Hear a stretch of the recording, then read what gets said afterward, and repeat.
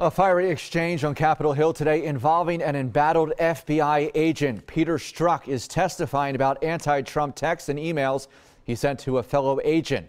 Republicans allege the bias hindered his ability to objectively investigate Hillary Clinton's emails and Russian interference in the 2016 election. Trump's not ever going to become president, right? Right? And you replied, no. No, he's not. We'll stop it. That text was written late at night in shorthand. I don't care when it was written. About. I don't care What's whether it was longhand, cursive. It would be his candidacy for the presidency, See, and my sense that the American yeah, population would not vote him into office.